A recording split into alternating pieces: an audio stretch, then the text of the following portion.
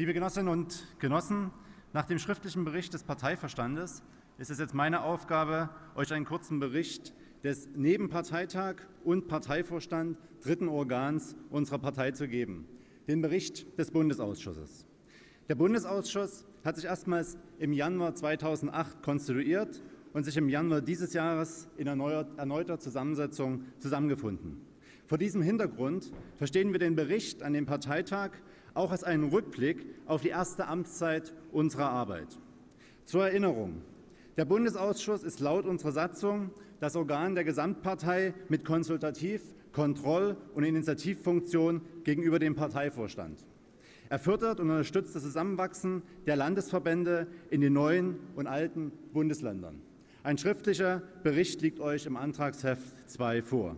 Lasst mich kurz auf ein paar Aspekte der Arbeit eingehen, die die Partei etwas stärker beschäftigt haben. Liebe Genossinnen und Genossen, der Bundesausschuss schließt in seiner Zusammensetzung an die Erfahrung mit dem Länderrat der WASG und dem Parteirat der PDS an. Er setzt sich in erster Linie aus Vertreterinnen der Landesverbände zusammen. Hinzu kommen Vertreterinnen bundesweiter Zusammenschlüsse, Mitglieder des Parteivorstandes und Vertreterinnen des Jugendverbandes. Insgesamt 86 Mitglieder mit beschließender Stimme. Hinzu kommen Mitglieder mit beratender Stimme. Aus seiner Mitte hat der Bundesausschuss ein sechsköpfiges Präsidium gewählt, welches den Ausschuss in der Partei vertritt. Sowohl in der ersten als auch in der jetzigen Amtszeit waren bzw. sind im Präsidium je drei Genossinnen aus den westlichen und drei aus den östlichen Landesverbänden vertreten, was sich auf die Arbeit immer ausgesprochen positiv ausgewirkt hat. Allein schon in seiner Zusammensetzung ist der Bundesausschuss eines der Arbeitsgremien unserer Partei, in dem das von vielen geforderte Zusammenwachsen bereits ganz praktisch stattfindet. Damit meine ich zum einen das Zusammenwachsen zwischen Ex-WASG und Ex-PDS, aber auch das Zusammentreffen von Ost und West in der Diskussion und im Austausch. Und zum anderen, das ist fast noch spannender, das Aufeinandertreffen von einerseits Berufspolitikerinnen und andererseits rein ehrenamtlich aktiven Genossinnen oder auch von Vertreterinnen der Landesverbände zum einen und der Zusammenschlüsse zum anderen.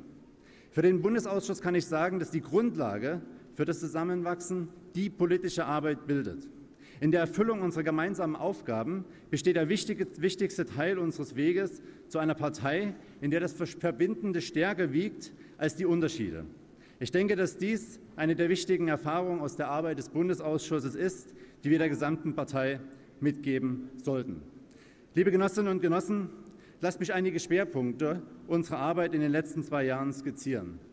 Der Bundesausschuss hat sich sehr oft und sehr ausführlich mit der Anerkennung bundesweiter Zusammenschlüsse beschäftigt.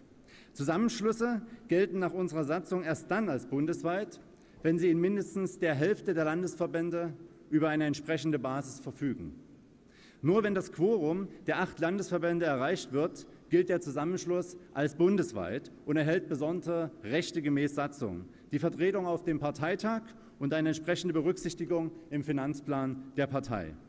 Die Acht-Länder-Regel sollte verhindern, dass rein ostzentrierte Zusammenschlüsse der früheren PDS einfach nur weiterwursteln, ohne sich der neuen Herausforderung zu stellen und ohne sich auch praktisch für Neues zu öffnen. Ausnahmen von dieser Acht-Länder-Regel kann nur der Bundesausschuss beschließen.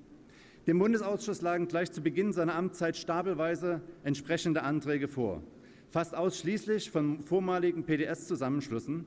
Darüber haben wir hart gestritten. Um nicht missverstanden zu werden, wir haben nicht darüber gestritten, ob uns das Engagement der Genossinnen und Genossen in den Zusammenschlüssen wichtig und wertvoll ist. Nein, wir haben viel, vielmehr ging der Streit darum, ob wir durch eine vorzeitige Anerkennung kleiner Zusammenschlüsse als bundesweit eher deren Arbeit fördern oder nicht noch eher den bundesweiten Aufbau erschweren. Es gab die Position, man solle solche Anerkennungen sehr unbürokratisch handhaben. Es gab gegenüber sehr restriktive Position, eine Ausnahme müsse eine Ausnahme bleiben.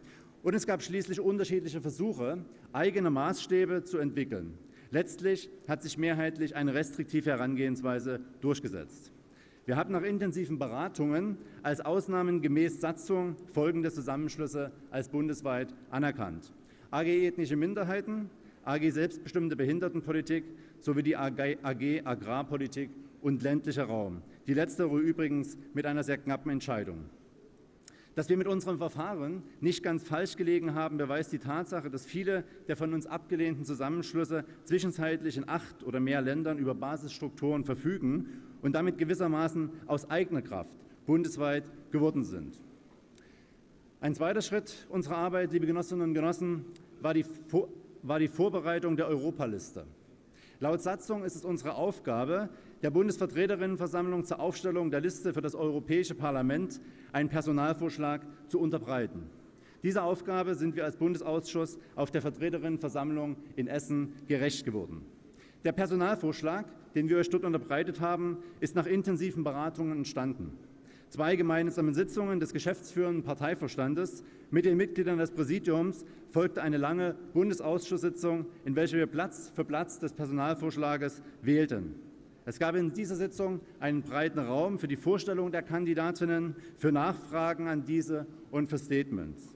Inklusive der häufig notwendigen Stichwahlen war es ein vergleichbares Prozedere wie letztlich auf dem Listenparteitag in Essen. Das hat zur Kritik geführt, zum einen wegen des doppelten Prozederes, zum anderen deshalb, weil damit die Personaldiskussion in Essen deutlich vorstrukturiert war. Manche fand das undemokratisch. Aber seien wir ehrlich, liebe Genossinnen und Genossen, ein Vorschlag für die vorderen Plätze hätte dem Parteitag auf jeden Fall vorgelegen. Der Regelung der Satzung verdanken wir, dass es nicht nur der Vorschlag der beiden Parteivorsitzenden oder des geschäftsführenden Parteivorstandes war, sondern ein Vorschlag, an dem über den Bundesausschuss die gesamte Partei in ihrer Breite beteiligt war. Das hat ein gewisses Maß an Transparenz geschaffen. Dass es dabei, was das Verfahren im Detail anbelangt, beim nächsten Mal Verbesserungspotenziale gibt, ist allerdings auch unbestritten. Gerade hinsichtlich von Personaldiskussionen sind wir ja in einem ständigen Lernprozess. Liebe Genossinnen und Genossen, ebenfalls in Vorbereitung der Europawahlen im letzten Jahr wurde innerhalb des Bundesausschusses eine Arbeitsgruppe Europa gebildet, die sich mit europapolitischen Themen beschäftigte und deren Ergebnisse in die Diskussion um unser Europawahlprogramm eingeflossen sind. Wir haben als Bundesausschuss jährlich den vom Parteivorstand vorgelegten Finanzplan diskutiert und beschlossen. Darüber hinaus wurden verschiedene Resolutionen verabschiedet sowie Anträge behandelt. Darunter auch die vielen vom Bundesparteitag an uns überwiesenen Anträge. Wir haben die Satzungskommission der Partei gewählt und über Kampagnen der Bundespartei entschieden. Liebe Genossinnen und Genossen, laut Satzung ist der Bundesausschuss das Organ der Gesamtpartei mit Konsultativ-, Kontroll- und Initiativfunktion gegenüber dem Parteivorstand. Darüber hinaus berät und beschließt der Bundesausschuss über grundsätzliche politische und organisatorische Fragen.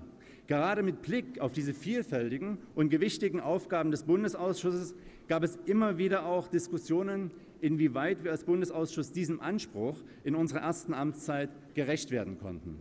Und sagen wir es mal so, es gibt aus unserer Sicht tatsächlich noch Möglichkeiten, unsere Arbeit zu verbessern und uns als Bundesausschuss innerhalb der Partei besser aufzustellen und deutlicher zu positionieren.